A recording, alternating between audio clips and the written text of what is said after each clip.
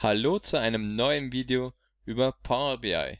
Heute beschäftigen wir uns mit dem Thema, wie kann ich Datenquellen nachträglich ändern. Wenn euch dieses Video gefällt, dann freue ich mich, wenn ihr meinen Kanal abonniert und mir einen Like hinterlässt. Und jetzt starten wir los. Ich habe dazu Power BI geöffnet und werde im ersten Schritt eine Datei nach Power BI laden. Dazu gehe ich auf Daten abrufen, wähle die entsprechende Datei und bestätige mit Laden.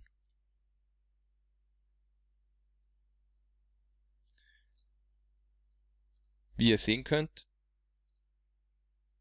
wurde die Datei geladen und kann meine ersten Berichte erstellen. Es kann aber sein, dass im weiteren Verlauf sich die Datenquelle ändert.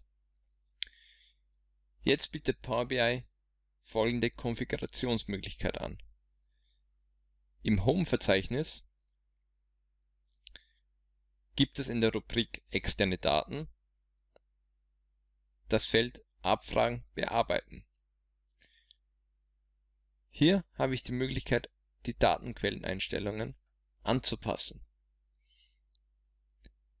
In diesem Fenster sehe ich das Verzeichnis zu der Datenquelle. Und entscheidend ist jetzt, dass ich hier links unten die Quelle ändern kann. Und es öffnet sich ein neues Fenster, wo ich dann die neue Datenquelle bzw. Datei angeben kann. Falls ihr Fragen dazu habt, hinterlasst mir einen Kommentar. Ich werde euch antworten. Tschüss und bis bald.